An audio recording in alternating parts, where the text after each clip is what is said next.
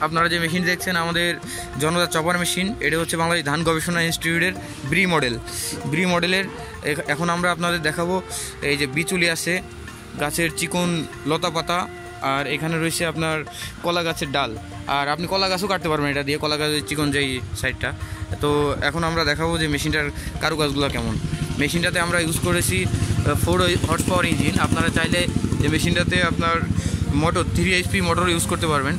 আর এটাতে শক্তি বৃদ্ধির জন্য আমরা ডিজেল ইঞ্জিন ইউজ করেছি। আর এটাতে স্পেশালি চার চাকা দেওয়া আছে। আপনি চাইলে ছোটো চাকাগুলোও নিতে পারবেন, সমস্যা নাই।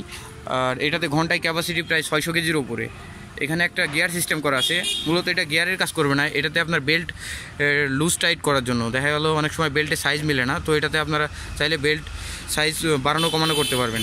তো এখন আমরা মেশিনটা চালিয়ে দেখাচ্ছি।